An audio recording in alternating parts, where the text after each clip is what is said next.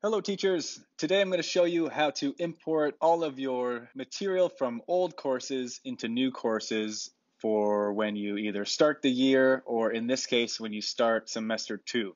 So first things first, to get everything back in order and into your new courses, head to your home page and go to your schedule. Click this arrow to get to the start of your semester. So this is semester two starting on February 1st and you can see my courses have changed slightly here. So I'll show you this with Physics 12. So click on in. Now you can see I have nothing on my bulletin board. I have nothing in topics. And I have nothing in my assignments. But fear not. Going back to bulletin board, click on enter edit mode.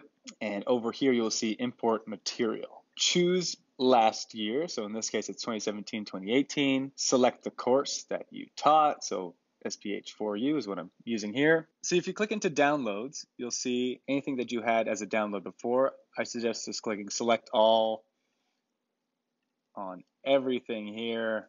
Select all, bringing everything in, all of your news. I had textbook to buy, downloading apps, uh, and any text here, which was just a welcome message. Select all. Once you've done that, click save and make sure you click on the green button on the bottom left, publish layout changes. So now if I go back to my bulletin board on the top left, I will have everything available on this bulletin board. Now they might not show up yet, but that's okay. They're going to show up in a couple of days once the semester starts. So if you've done that, you're fine.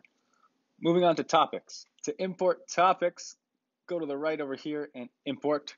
My suggestion would be to scroll down away from my topics and go under topic bank.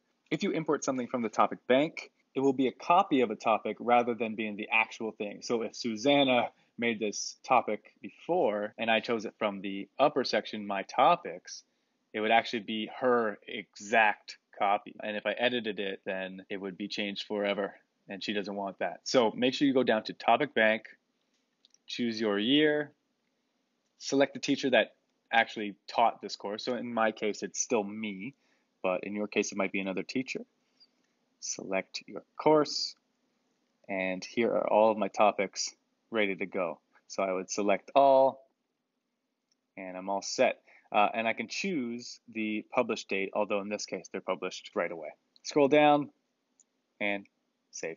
Now you can see all of my topics have been brought in. They're in order, exactly how I had it before. Once you bring in topics, make sure you contact the teacher who taught the course before, uh, just in case Moving on to assignments, if you click on import on the right again and choose your prior year, the teacher, and the course, you will see that all of the assignments are available to you. Here, select all. What you're going to have to do is choose an assigned date for each one of these, as you see the red asterisks here.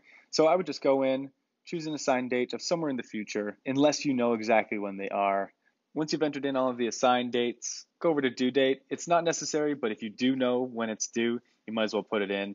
Here, I'm going to make it easy and just put it the same date. I'm going to go in later and change these. And once you're done, click Save.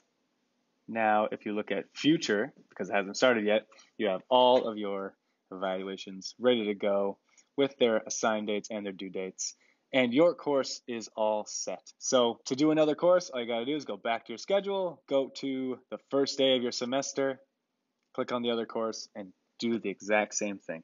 And that's it from me. Hope that was helpful.